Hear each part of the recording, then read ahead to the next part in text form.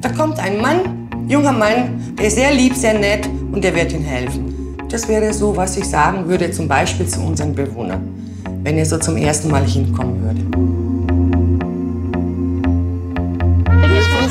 Ja, bitte. So, Was gibt's denn alles Gutes? bitte schön. Gibt es vieles heute zu Frühstück. Kaffee, Semmel, Eier, Butter.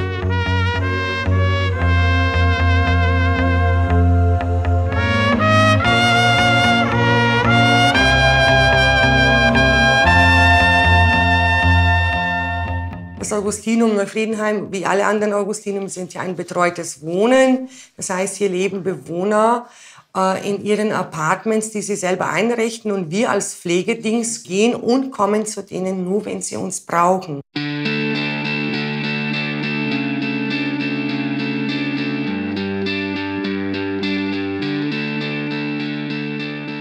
Der Ivanschuk hat sich bewusst für die Pflege beworben. Sein Ziel war es, wirklich im sozialen Bereich reinzukommen.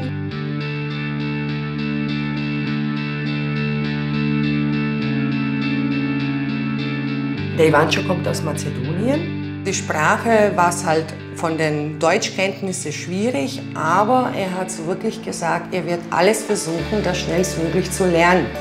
Dann haben wir ihn unterstützt mit Deutschkursen. Ja, Am Anfang ja, konnte ich nur drei Worte Guten Morgen, Guten Tag, Guten ja, Abend. ah, ja. Sie sprechen sehr gut Deutsch. Dankeschön. Ja, und verstehen Sie auch. Ja, natürlich, verstehe Ja. ich alles. Und mit Aussprache habe ich noch ein bisschen Probleme, aber, ja, ja, das ist halt eine bayerische Aussprache. Gell? Ivancho hat Ziel, um Menschen zu helfen.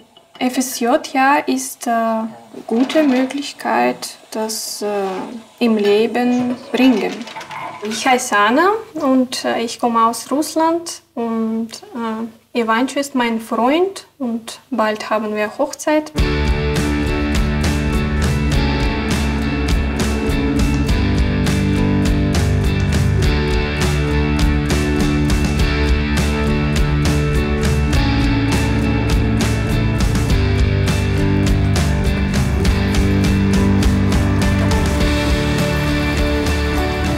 denke, dass für Ivancho im Leben Familie wichtig ist. Ja. Сега ги гледам цела.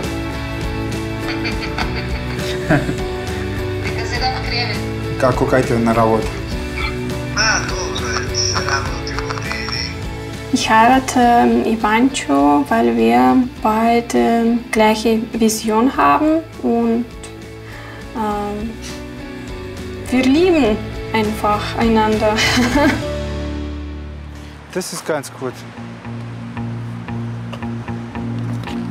Ja, 252, 72 PS. 2009 Baujahr. Miriam? ja, 18.000 18 Ja, können wir. Nach zwei Jahren, warum nicht? Ja, zum Glück, zum Glück. Nur für dich. Aus meiner Sicht würde ich sagen, er möchte sein Leben auf eigene Beine stellen. Und ich glaube, aus der Ecke kommt auch das, der Ehrgeiz und die, diese Durchsetzungsvermögen und dass er sagt, ich will es und ich schaffe es und dann gebe ich ihm auch die Chance, dass er das auch hier bei mir machen kann. Das heißt, ab 1. September beginnt er mit der Ausbildung zur examinierten Altenpfleger.